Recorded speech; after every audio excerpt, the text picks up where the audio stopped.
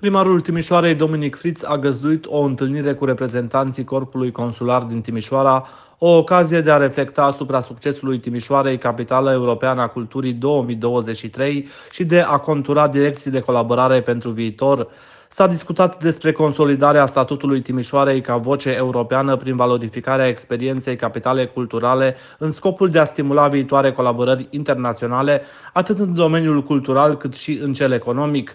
De asemenea, s-a pus accent pe păstrarea identității multiculturale a Timișoarei și menținerea orașului nostru ca un spațiu prietenos pentru diverse culturi și naționalități.